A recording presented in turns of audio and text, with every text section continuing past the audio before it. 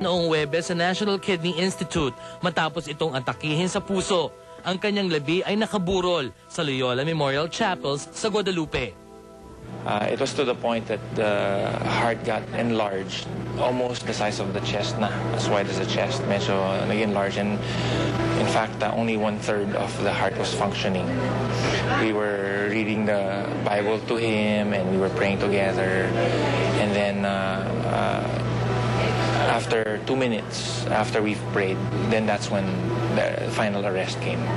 Hanggang ngayon, aminado ko, I'm still in mixed emotions. I want to cry, I want to freak out, I want to scream. Hindi ko magawa. I mean, we all know naman that, diba, I'm not his legal son, I'm not his biological son. But he never treated me otherwise. He loved me like his own flesh and blood. He loved me like a real son. Papa, I love you. I want to thank him for loving me as his own son.